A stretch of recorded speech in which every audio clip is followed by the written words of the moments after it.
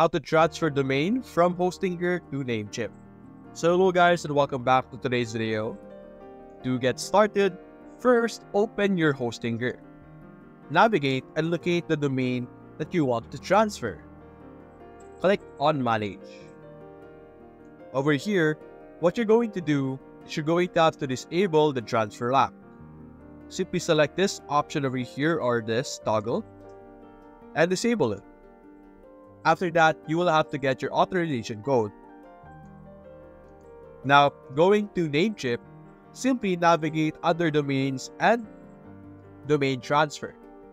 Under the domain that you want to transfer, which in our case this is, click on transfer and it will search for that specific domain. And it will give you a checklist of what you need to do. As you can see, it's currently locked, so you have to disable the transfer lock over here and enter your authorization code.